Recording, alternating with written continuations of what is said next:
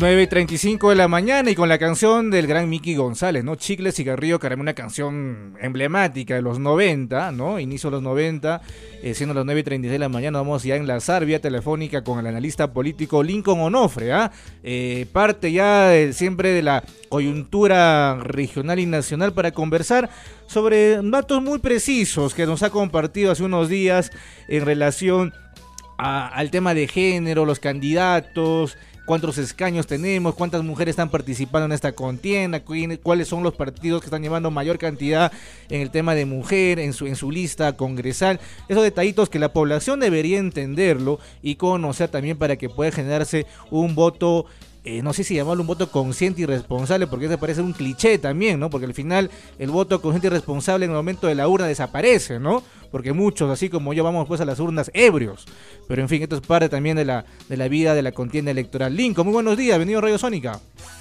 Muy buenos días a ti y a toda tu audiencia, estimado Chiche. Lincoln, eh, quiero empezar con esto que, me ha generado mucha preocupación y es que de los 21 partidos políticos ya, digamos, eh, que están en carrera, solo el 35% son mujeres, es decir que hay un 65%, una cantidad tremenda de eh, todavía de, liderazgo varonil, por así decirlo.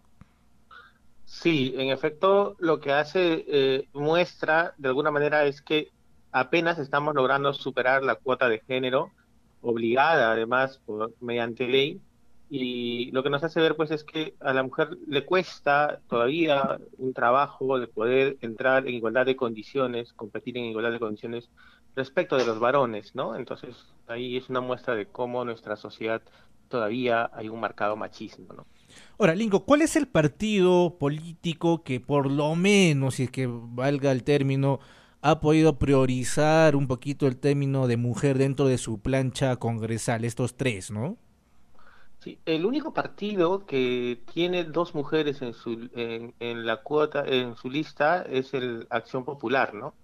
Y además lleva los dos primeros números, si no me equivoco. Ah, mira, el uno y el dos, sí, sí, efectivamente. Exacto, sí. Entonces, esto ya personalmente creo que dice este, ya bastante de la de, este partido político, ¿no?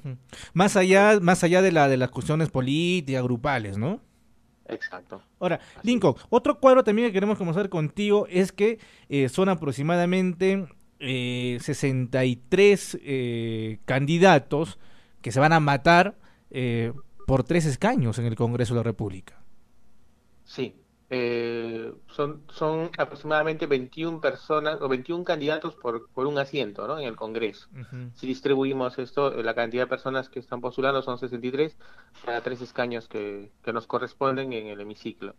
Entonces, este, además para un año y cuatro meses, ni siquiera llega un año y medio, eh, para un año y cuatro meses llama la atención, ya que los partidos que no postulan en esta oportunidad no están perdiendo la inscripción sin embargo, es un número muy elevado, eh, en mi opinión, para una contienda y un ejercicio de funciones de un año o cuatro meses. Entonces, hay respuestas este, subjetivas que uno ya tendrá que empezar a evidenciarlas conforme van pasando los meses, ¿no? Pero las semanas, ¿qué meses? Estamos a un mes prácticamente de, las elecciones, ¿no? Un mes y unos días más. Sí. Ahora, Lincoln, ahora el, el otro tema también es que eh, el voto electoral, es decir, las, eh, los ayacuchanos que se encuentran aptos para sufragar eh, son aproximadamente, de acuerdo a lo que ha publicado eh, nuestros colegas en Sartes, son aproximadamente 461.288 electores ayacuchanos aptos para las próximas elecciones. Es decir, estos 400 mil aproximadamente van a votar entre toda esta cantidad de, candidatos que parece ser único en América Latina o me equivoco? Eh, bueno, es, Perú es uno de, de los lugares en América Latina que, como bien dices, no tiene demasiados partidos. Entonces, partidos además que se forman o que se reconstituyen cada, en cada periodo electoral. Son ni a cinco los partidos políticos que realmente hacen un activismo político entre un periodo y otro. Podrías contar eh, quizá el Fujimorismo, quizá Acción Popular, el PPC, este, pero de ahí, por ejemplo, el Frente Amplio, que también, ¿no? O sea, como partido ya con inscripción, o el Partido Morado, que es el que ha estado este, también bastante activo, ¿no? Entre un periodo y otro, pero con las miras específicas de llegar a la presidencia o ocupar cargos públicos. Pero si nos ponemos a pensar en, partidos como Solidaridad Nacional, como este JP, ¿no? Este y otros más, pues esto es el mismo este acción Alianza para el Progreso. Ellos no tienen una, una militancia continua entre un periodo y otro, se constituyen cada cuatro años, cada cinco años, a demanda electoral y nada más. Y luego esto es un cascarón vacío, ¿no? Ahora, Lincoln, eh, volviendo al tema de la mujer, eh, ¿qué partidos políticos son los, las que han, los que han considerado en primer número a la mujer, o sea, es decir, en el número uno en de, la, de, su, de su plancha congresal?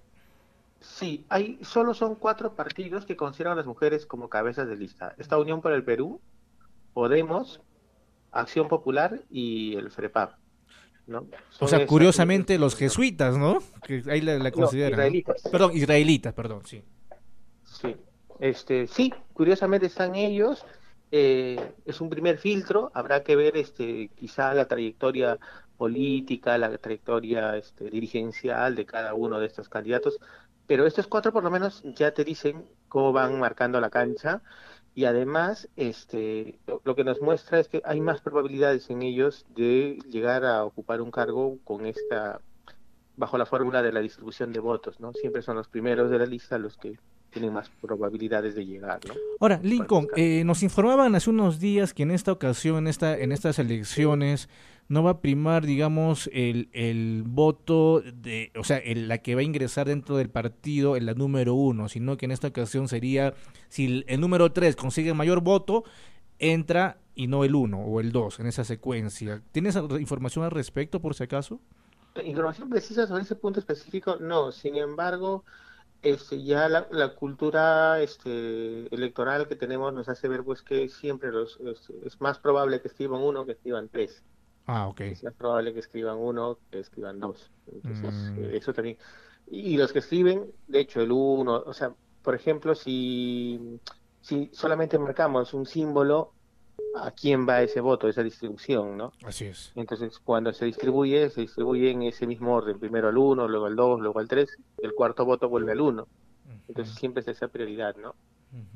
Ahora, Lincoln, el último cuadro que nos compartiste trata de ver sobre la edad de los candidatos.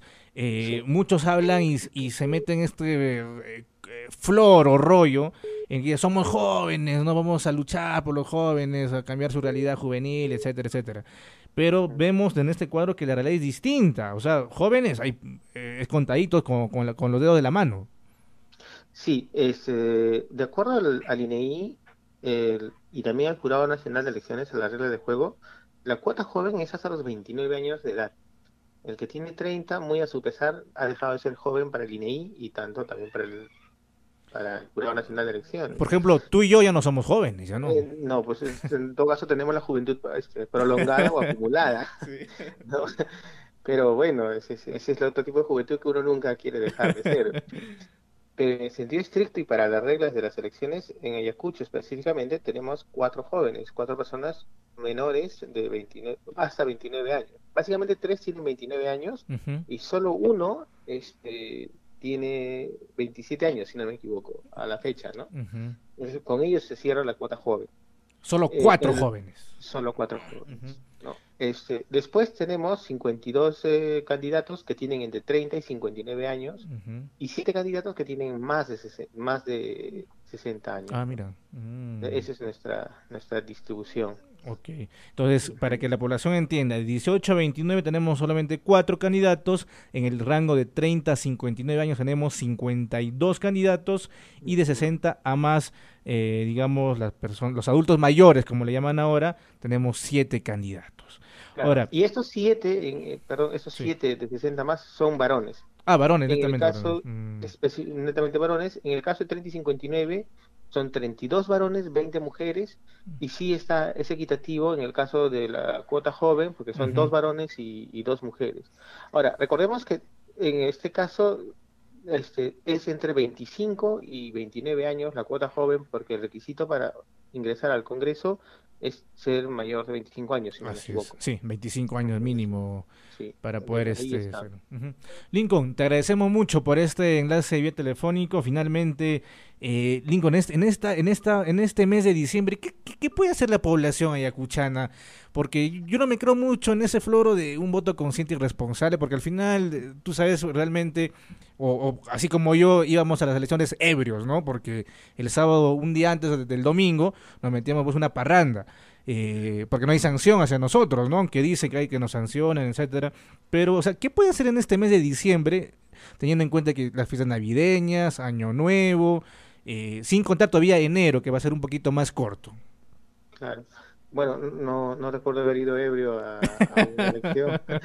y tampoco recuerdo haber tomado contigo, hecho. yo sí, yo sí he ido muchas veces. ebrio. Sí, este, yo creo que hay que, es un proceso de reflexión y un llamado de atención propositivo hacia el ciudadano, porque son los ciudadanos los que han venido reclamando el cierre del Congreso, a pesar de las advertencias eh, que se ha ido este, manifestando, probando, no porque, no porque estemos de acuerdo con, un Congreso obstruccionista, sino porque no había nada detrás de la, de, la, de la protesta. No había una propuesta, no había una plataforma política de poder decir, ok, salen estos, este, los obstruccionistas del fujimorismo e ingresan personas que realmente van a poder sostener una nueva gestión. Y lo que estamos teniendo hoy en día al ver el mapa electoral, al ver el mapa de los candidatos, es que hay un gran número de candidatos improvisados, hay un gran número de candidatos que han ido buscando un escaño o un, número ¿no? en, en esas elecciones, están buscando un número paseándose por diversos partidos lo que te está manifestando de que no hay una no hay una relación, una afinidad entre el partido y el candidato, lo que está evidenciando en la improvisación de sus propuestas. Acabamos de, escuchar a, este, a candidatos al Congreso que están prometiendo cometer delitos prácticamente, que es un tema mm. de gestionar intereses, prometiendo obras, prometiendo proyectos, prometiendo hacer lobby ¿no? Este, entre el municipio, el gobierno regional, el ministerio y el Congreso. Al mismo estilo que Lucianita León, ¿no? Exacto. Mm. Y eso también, si ya recuerdas, ya lo hemos ido advirtiendo en artículos anteriores, en, entrevistas anteriores, de que el candidato que se está prometiendo gestionar intereses para conseguir mayor presupuesto para la municipalidad, para el gobierno regional, eh, en este, gestionar intereses eh, para alguna obra, algún proyecto a través de un ministerio, lo que están haciendo estos candidatos, en principio, es engañar a la población. En segundo lugar, que no saben cuáles son sus funciones. Y en tercer lugar, manifiesta que lo que ellos quieren cambiar lo están, están fallando desde ahora. La gente que habla de, de lucha contra la corrupción, una manera de gestionar intereses y facilitar la corrupción es justamente esa, el, congresista no está para gestionar intereses entre el municipio y el ministerio. Esa no es su función. Así Sus funciones son la de fiscalizar y hacer leyes. Entonces, ahí hay un problema. A nivel de candidatos, se evidencia que no tenemos propuestas reales, hay intereses privados, hay una ausencia de ideología que es muy importante hoy en día. Entonces, lo que no hay es un vínculo de, este, no hay un vínculo directo entre el, el movimiento, partido político y el sujeto, el candidato no hay militancia de muchos de estos candidatos, son candidatos sin preparación y que para un periodo de un año y cuatro meses están empezando a tener un exceso de gasto. Mm. Entonces es lo que deberíamos advertir. a nivel de partidos políticos, lo que también se está evidenciando es que estos partidos políticos están siendo, eh, funcionan como vientres de alquiler.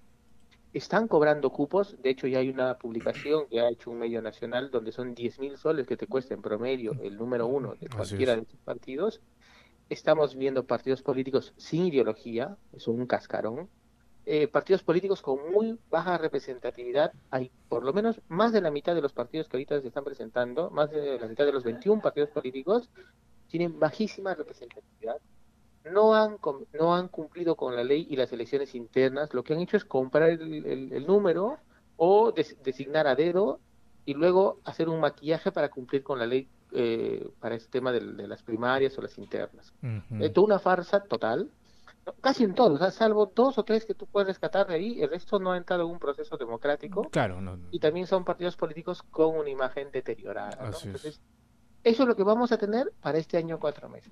Lo demás es cuento. Una, una pequeñita, ¿tú consideras que el ayacuchano en esta selección del 26 de enero, eh, más allá si se informa o no, va a considerar el voto blanco viciado como una alternativa y, pudiese superar al voto normal o estoy soñando? Pero aún si, si, sucediera ese escenario, no va a cambiar en nada. O sea, sí o sí van a tener que salir tres este, congresistas, aunque sea con un voto. Y justamente estaba haciendo la, división. Son, tú mencionabas, 461.268 electores aptos para votar. Si dividimos entre los 63 candidatos, a cada candidato le corresponde 7.321 electores. Mm. O sea, 7.321 votos van a definir este, los destinos mm. de más de medio millón de población, porque ya no solamente el elector, el congresista trabaja para sus electores, sino además para toda la población en general. Y en Ayacucho pues tenemos más de medio millón de población. Entonces, siete mil votos, eh, matemáticamente hablando, siete mil votos van a decir, van a decidir por más de medio millón de, ciudadanos, ¿no? En el caso de mm. Ayacucho. Entonces llama también la atención eso, o sea, qué intereses hay detrás de, esta elección para que haya tanta cantidad de, candidatos para un periodo de un año y cuatro meses? Habrá que echarnos a, ver las cifras y, en los próximos días pues iremos conversando, contrastando información para informar al elector. Finalmente el elector va a decidir por quién votar, si, si por la mejor lista o, o, por su conveniencia personal, por el vecino, por el amigo, por el hígado, o como tú dices, ¿no? Termine decidiendo el mismo día de las elecciones. Ya es un tema también de, de responsabilidad ciudadana, ¿no? Así es. Lincoln, te agradecemos mucho y a través tuyo informar a tus, a tus seguidores que nos están preguntando por qué no hay la transmisión de vía Facebook en Sonic. Bueno, lamentablemente ya no vino el equipo técnico, pero esta, este, esta entrevista la vamos a, subir a través de la plataforma de Ensartes, tanto en el fanpage, en el Instagram y también en el Spotify, ¿no? Para los, los jóvenes que puedan informarse. Lincoln, te agradecemos mucho por esta comunicación a esta hora de la mañana. Sabemos que es un día de, de relajo, ¿no? Fin de semana también ahí en la ciudad de Lima. Sí, sí, es verdad. Bueno, muchas gracias a ti y a todos tus oyentes. Muchas gracias, muchas gracias. Lincoln Onofre, analista político, ha conversado con nosotros en relación a estos temas tan importantes que tienen que ver básicamente eh, con los candidatos al Congreso de la República. ¿ah? Eh, un promedio de 7 mil votos eh, aproximadamente por cada candidato, si, como Lincoln lo mencionó, hace la división entre los 400 mil electores activos. Esto sería pues la situación que se genera. Y obviamente en los próximos días vamos a hablar con Lincoln Onofre sobre ya eh, diferentes candidatos. Eh, que posiblemente sean los que van a ir al Congreso y conocer también pues sus anticuchos, sus arrugas, eh, sus bondades que estuviesen también y algunas cositas más de por ahí. 9 y 50 de la mañana, estamos aquí en Radio Sonic, el Pescador de Noticias.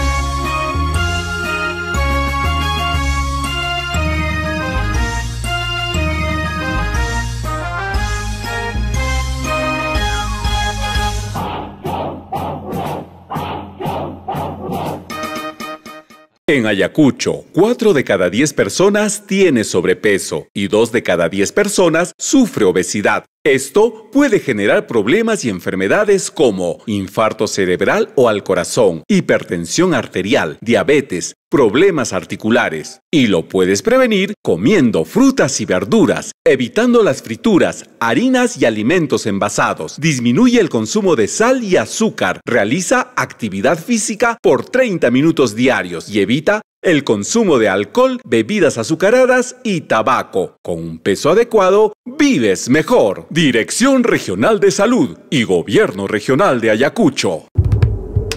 Decidir cuántos hijos tener es decisión nuestra. Decidir cuántos hijos tener es decisión en pareja. Acércate al centro de salud más cercano a pedir información. En el centro de salud encontrarás diversos métodos anticonceptivos los profesionales en salud te ayudarán a elegir el método adecuado. Planificar nuestra familia está en nuestras manos. Es un mensaje del Gobierno Regional de Ayacucho y la Dirección Regional de Salud. Durante el embarazo, no descuides tu salud bucal. En esta etapa es muy frecuente la inflamación de encías o la aparición de caries. Por ello, consume alimentos saludables como verduras, cereales, frutas, carne y lácteos. Evita consumir alimentos altos en azúcar y almidones. Cepíllate los dientes y la lengua con pasta dental que contenga flúor. Y durante tu embarazo, no olvides visitar al odontólogo. Gobierno Regional de Ayacucho y la Dirección Regional de Salud Ayacucho. Decidir tener un bebé es muy importante para cualquier pareja. Por eso nuestro embarazo debe ser seguro, saludable y muy feliz. Si sabes que estás embarazada, es importante que acudas al establecimiento de salud para tus atenciones prenatales. Y su alimentación debe de ser balanceada y rica en hierro. No te olvides que a partir del tercer mes de embarazo deberás tomar tu sulfato ferroso. Su entrega es totalmente gratuita en todos los establecimientos de salud. Y también es importante reconocer las señales de peligro como dolor de cabeza, fiebre, escalofríos, hinchazón de cara, manos y pies, sangrado vaginal, pérdida de líquido amniótico y falta de movimiento de tu bebé. Cuidarnos es la mejor manera de tener un embarazo feliz. Gestantes sin anemia, bebés con futuro.